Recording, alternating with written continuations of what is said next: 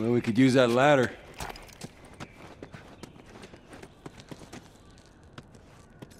Here